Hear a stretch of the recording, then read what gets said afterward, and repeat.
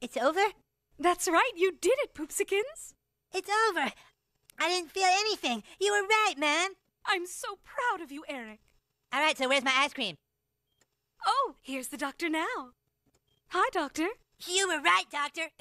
Everything is okay. No, it's not. Eric, I'm afraid that we've accidentally infected you with the AIDS virus. What? What's that supposed to mean? During the tonsil surgery, we had to supply you with donor blood. A mistake was made and you were given blood contaminated with HIV. It was a one in a billion fluke. I have AIDS? Not yet, but we've confirmed that you now have the virus that causes AIDS. We are very sorry. Sorry? You gave me AIDS and you're sorry? Oh, my poor little baby. Mom, you said nothing would go wrong. Oh, God. Oh, no.